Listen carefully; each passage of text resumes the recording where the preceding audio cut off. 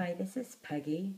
I'm doing a video response for Leasy, L-E-A-S-Y 46, um, surprise birthday giveaway challenge.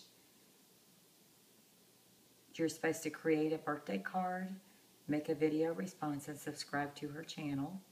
Thanks, um, Alease, for um, having this challenge. I'm enjoying it. Uh, this is the card I made. I used a um, corrugated cardboard card from Michaels, and I used some um, Valentine paper, um, K and Company paper um, that I purchased, um, I believe it was last year.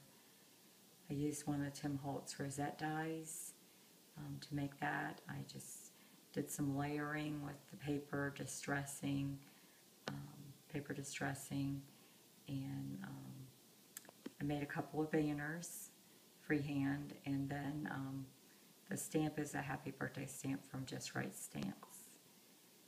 So um, that's it. That's my um, card for the birthday challenge. I did use a buckle and a pearl on the top. And that's it. Thank you so much, Alease. Bye-bye.